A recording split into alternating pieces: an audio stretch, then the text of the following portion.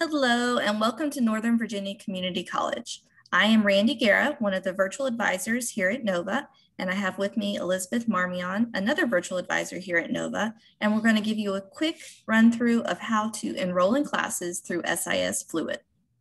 Step one is to click on the My NOVA button on the NOVA homepage. And from there, you can click the My NOVA login and enter your username and password.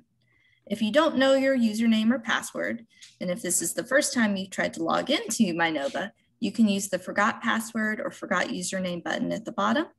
Or if that doesn't work, you can call the IT help desk.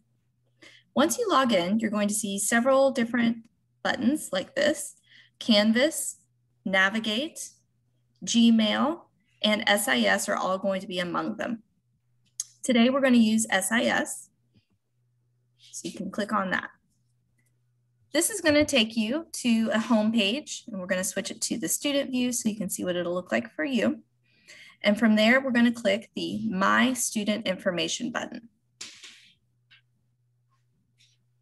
This has a lot of good information, um, but today we're going to focus on enrollment. So you're going to click the Enrollment tab and go down to add classes.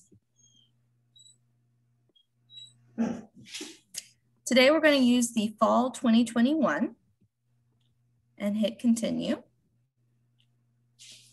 And from there, we're going to go down to class search and hit search. Now from here, you can search for any NOVA class you would like. Today we're going to use SDV as an example. So we're going to put SDV in the subject and 100 in the class number. You can also limit it, limit it to a specific campus. So today we're going to use Alexandria as our example. If you don't want to limit it to a campus and you'd like to take the class online, leave the campus portion blank. We hit search. And as you can see, this is going to put up pull up all options for SDV at Alexandria campus. There's a lot of good information on here you should be aware of. First and foremost, the days and times, so when the class actually meets, the room, which will be an actual classroom if it's on campus.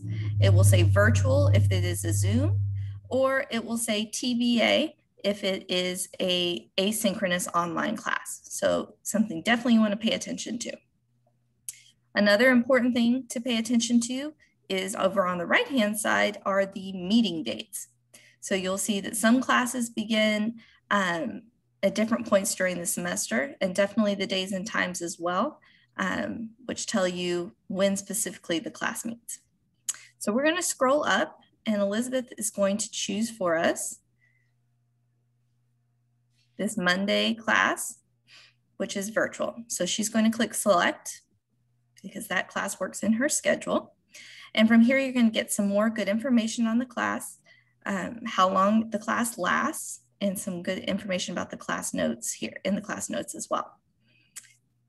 If this is the class you want, and this one works for you, you can click the next button. And you'll see now it's in your shopping cart. Now you can go back and redo this for all of your NOVA classes, putting them all in your shopping cart. But once your shopping cart has everything you need in it, you can click proceed to step two of three. And then we click finish enrolling. And ta-da, Elizabeth is now enrolled in SDV 100. She can go back and add another class, or she can look at her class schedule and book information as well. We hope this video is helpful and that you've learned something. And if you have any questions about enrolling at NOVA, please visit us on Virtual Advising live chat or Virtual Advising Zoom lobby, and we're happy to assist. Have a great day.